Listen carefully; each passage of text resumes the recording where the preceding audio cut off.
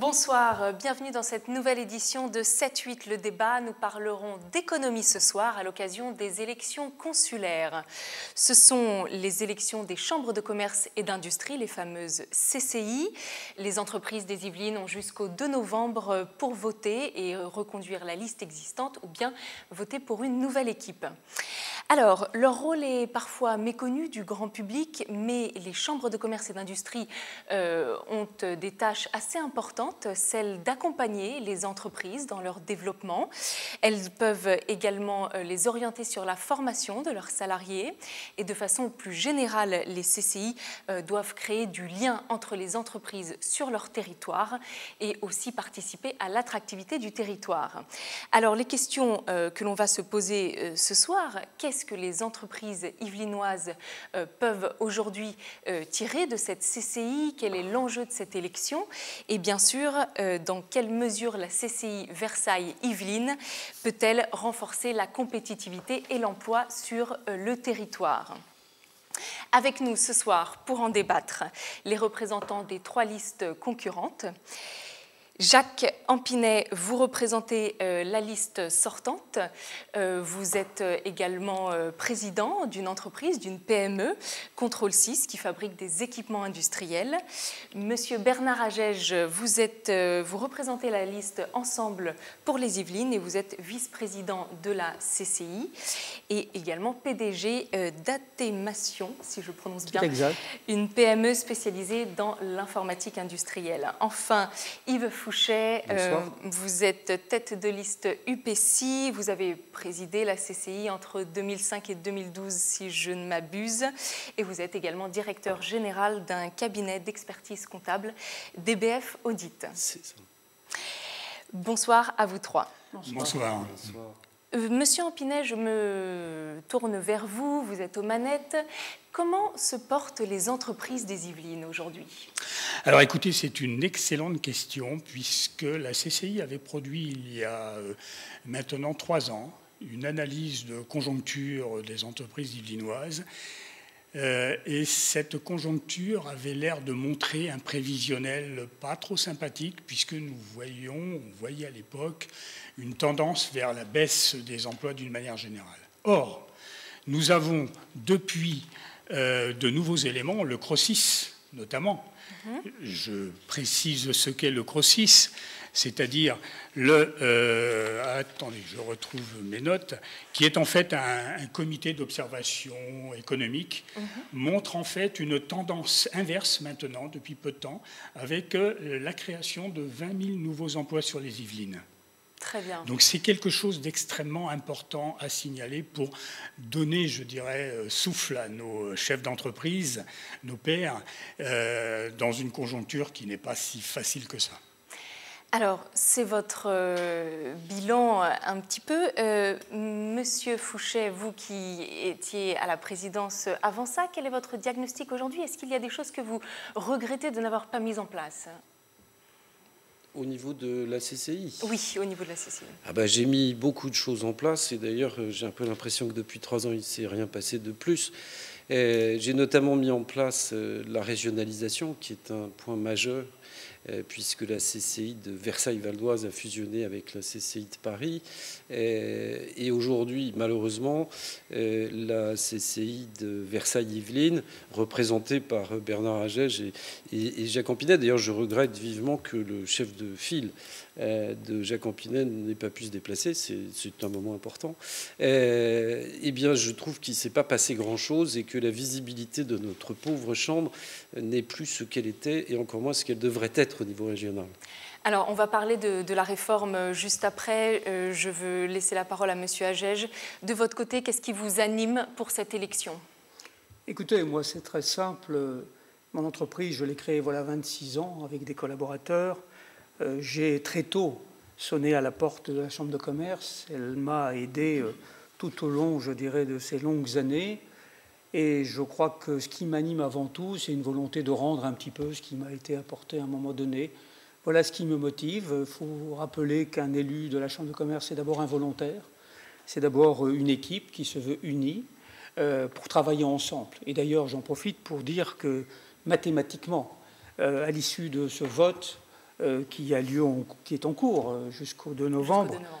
L'équipe qui sera constituée, nécessairement sera constituée par des éléments, des candidats issus des trois listes que vous interrogez ce soir. Très bien. Je veux simplement revenir euh, sur ce que vous avez euh, émis comme opinion, Monsieur Fouché, Monsieur Ampinet, vous qui représentez la liste sortante. Euh, que souhaitez-vous répondre? Bah, Ça ne vous étonnera pas que je suis en radical désaccord avec Monsieur Fouché. ceci Pourquoi? pas étonnant. c'est une affirmation. Pourquoi? Il y a des faits derrière ceci. Quand M. Fouché, qui était président de la Chambre des Yvelines et régional à l'époque, à négocier la, réforme, disons, des, euh, euh, CCI, euh, nous nous sommes retrouvés dans une situation complètement pieds et poings liés par rapport à des décisions régionales.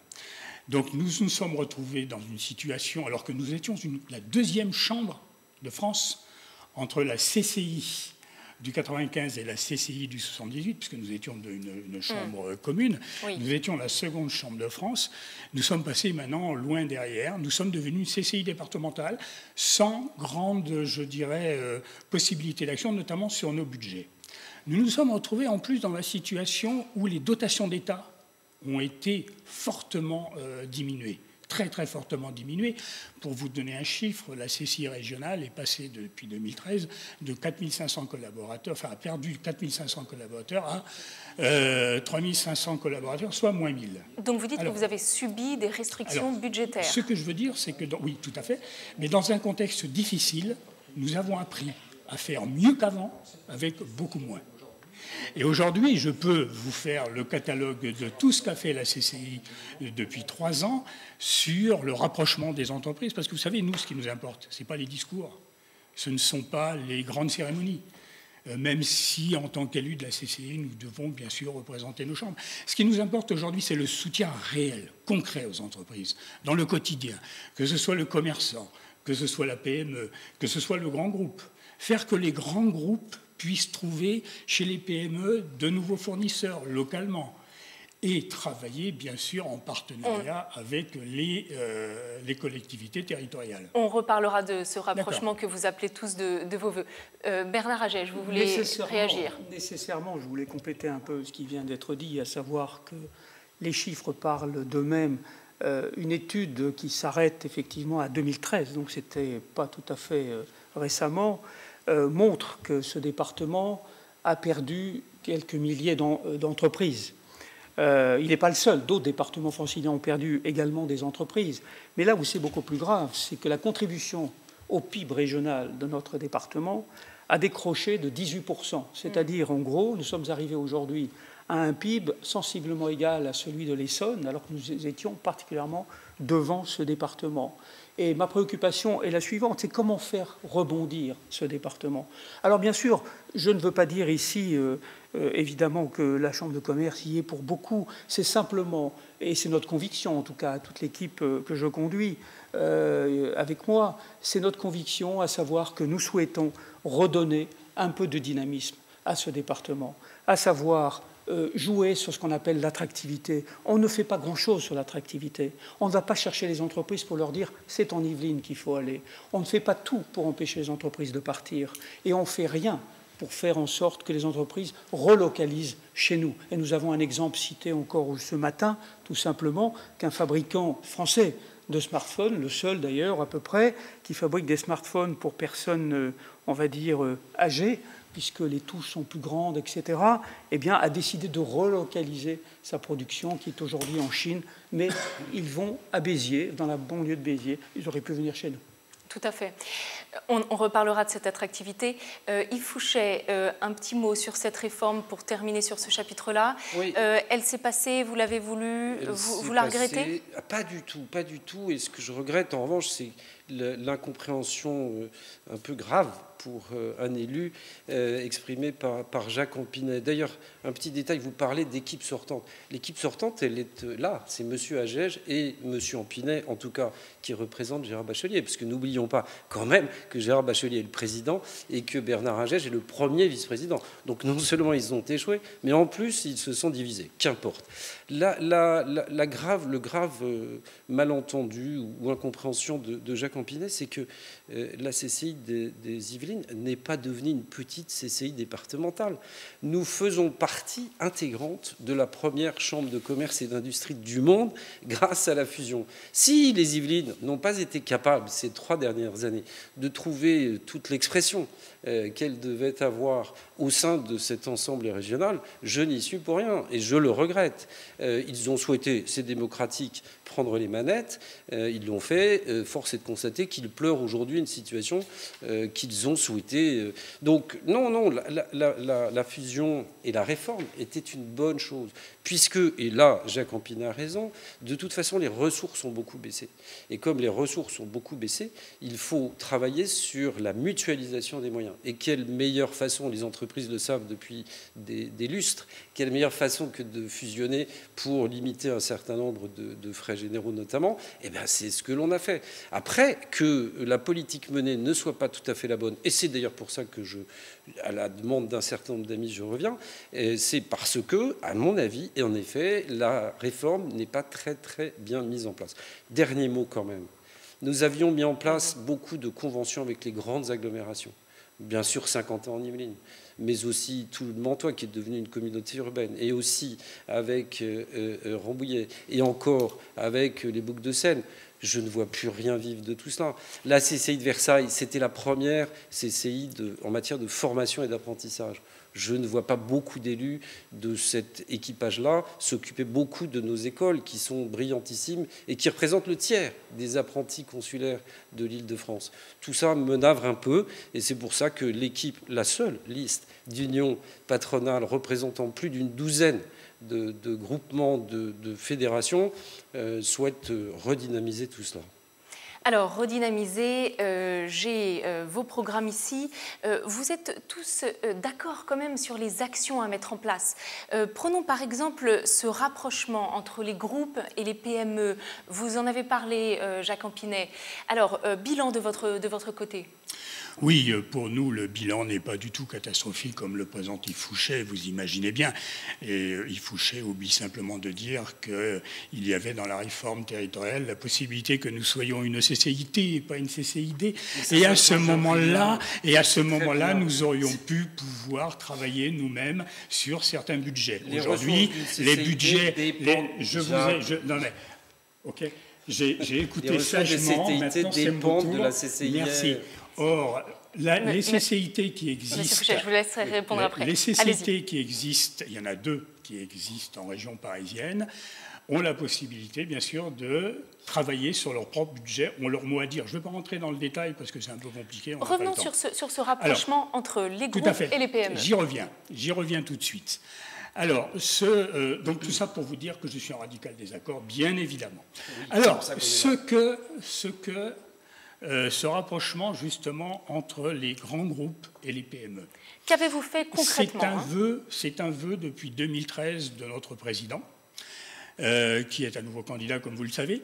Et le but, c'est en fait de créer dans des filières données. là, notamment, nous citons le cas, puisque je suis en charge de ce dossier, dans la filière automobile euh, des Yvelines, un rapprochement entre les grands groupes industriels de l'automobile, on les connaît, il y en a deux, avec l'ensemble du tissu économique de sous-traitants à tous les niveaux. On appelle ça les rangs 1, les rangs 2, les rangs 3, etc. concrètement, qu'est-ce que vous avez fait aujourd'hui? Comment vous les rapprochez?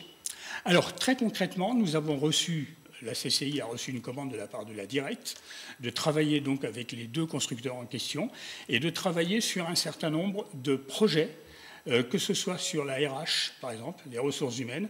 Vous savez, par exemple, qu'entre les deux constructeurs, parfois des gens, un constructeur a besoin d'un volant de main-d'œuvre important parce qu'il est en train de démarrer une série, pendant que l'autre est en train de terminer sa série, et ce volant de main-d'œuvre devient dans une, euh, des unités de production d'un des deux groupes, euh, y il y a moins de travail pour ce volant de main-d'œuvre. L'idée, c'est de mutualiser de faire en sorte qu'on puisse travailler sur les ressources humaines de manière à faire passer les gens d'un site à l'autre, d'assurer ainsi la pérennité de l'emploi, pour les personnes concernées, mais aussi d'avoir des, euh, des, personnels qui soient déjà formés au métier de l'automobile. Et ça, c'est fondamental d'un point de vue de la rentabilité. C'est un exemple. Il en a beaucoup d'autres. Justement, mutualiser, on en revient à cette problématique de la compétitivité. Bernard Agege, qui vous, à laquelle vous tenez, un petit mot là-dessus, sur cette euh, Alors, compétitivité je répondrai, à votre question, mais je, je me dois de de réagir un peu à ce que je viens d'entendre euh, de l'un et de l'autre. Euh, tout d'abord, euh, dire qu'il n'y a pas de différence entre chambre départementale et territoriale, c'est terriblement erroné.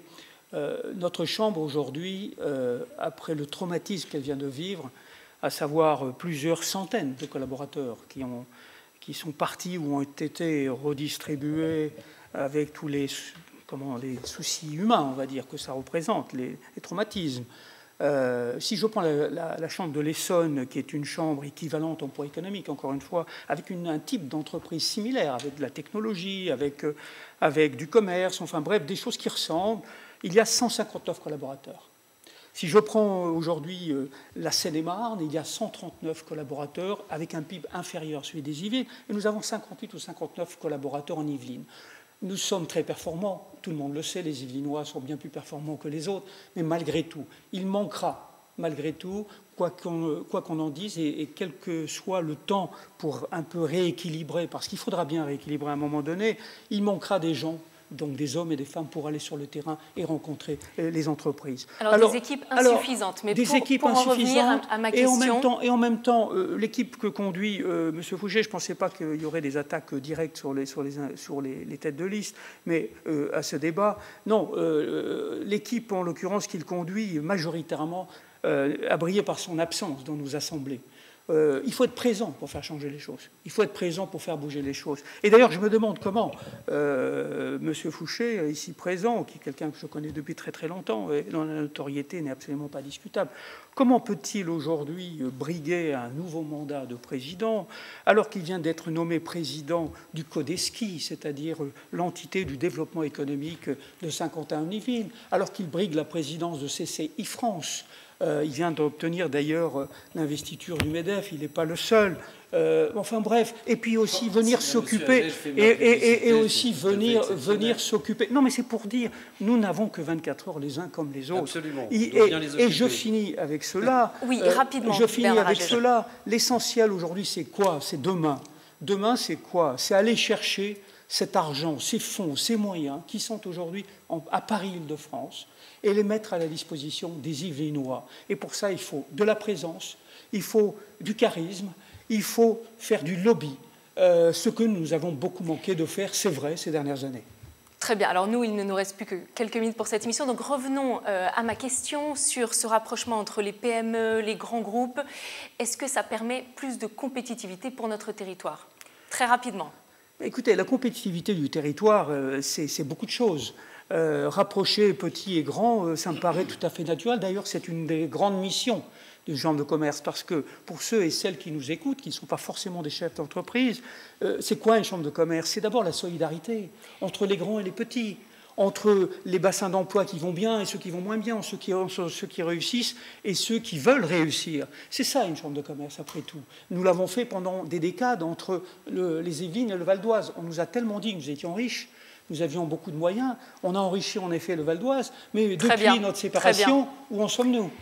Écoutez, Fouché. Oui, véritablement. Euh, Alors, j'aimerais quand même, qu'on, pour les entrepreneurs qui nous regardent, qu'on revienne sur, sur cette, sur cette question euh, de, comment améliorer la compétitivité de notre territoire. Allez-y.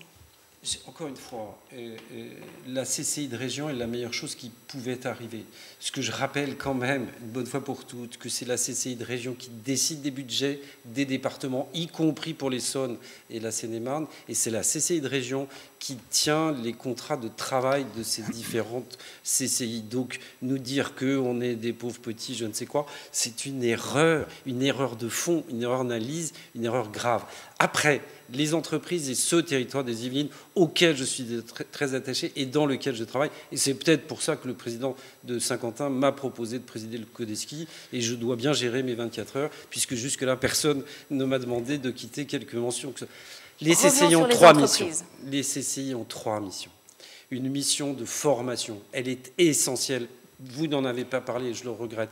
On a de belles écoles, on a 3000 apprentis, on a de grandes écoles comme l'ISIPCA, l'école des parfums, des écoles à Saint-Quentin, des écoles à Rambouillet, des écoles dans la vallée de Seine. Il faut que nous nous occupions de ces écoles car ce sont les collaborateurs de demain et des apprentis qui formeront, qui seront formés dans nos écoles pour nos entreprises de demain. Il faut vraiment que nous travaillions là-dessus. Le deuxième point, c'est la présence territoriale en relation avec les collectivités. Il y a des conventions qui sont endormies, il faut les réveiller car il y a des projets absolument considérables. Je pense à l'Axe Seine qui va de, c'est une idée de 2008-2009, mais elle est très belle, qui va de Paris jusqu'au Havre. On a de bonnes relations avec les CCI euh, de la vallée de Seine jusqu'au Havre. Il faut que nous retravaillions. J'entends plus parler de ce projet qui est gigantesque parce que derrière ça, il y a de l'industrie, mais derrière ça, il y a aussi du tourisme.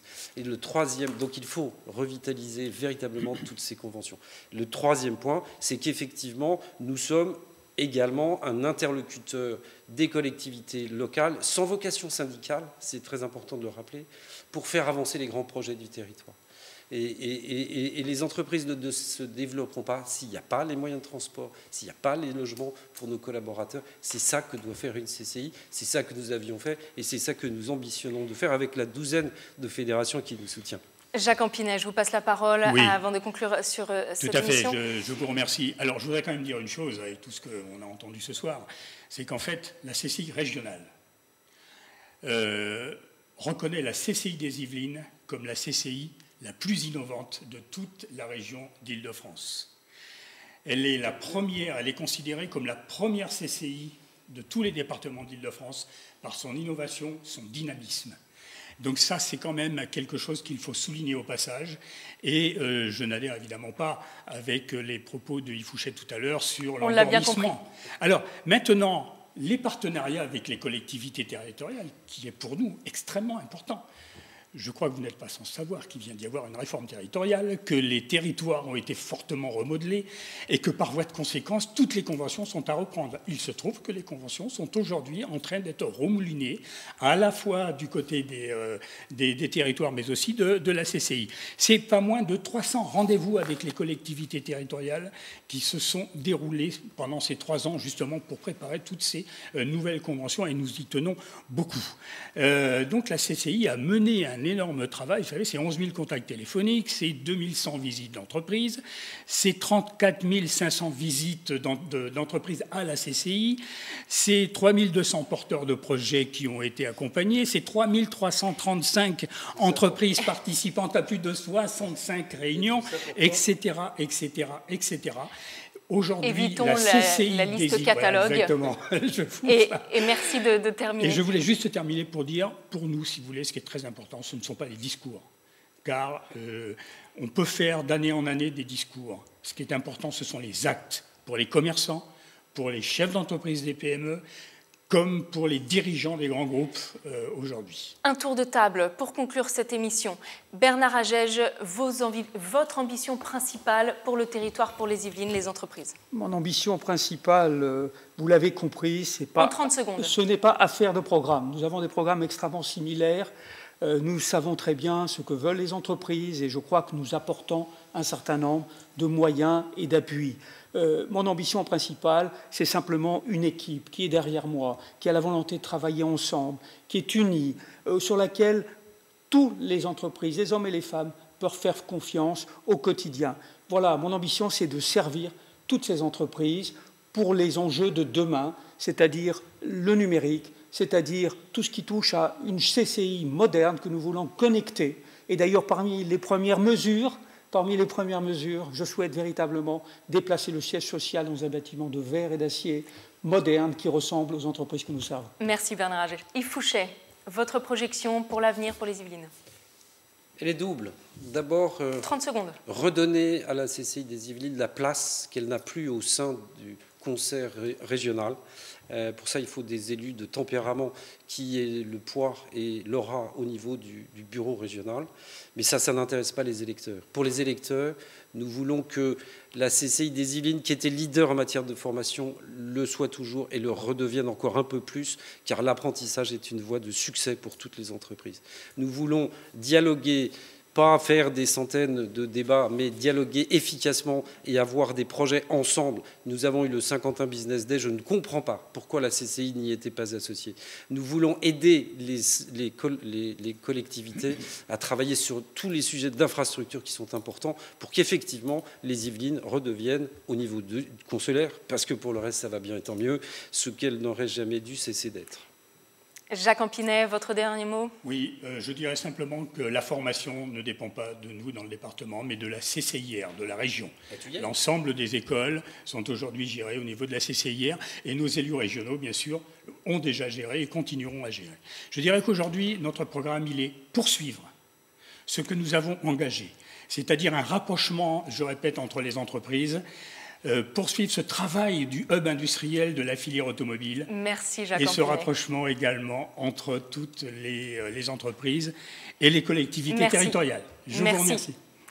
Merci beaucoup à vous trois. C'est la fin de ce 7-8 le débat et on vous rappelle que le scrutin se déroule jusqu'au 2 novembre. On se retrouve pour une prochaine émission dans 15 jours. Merci à vous. Merci. Bonne soirée.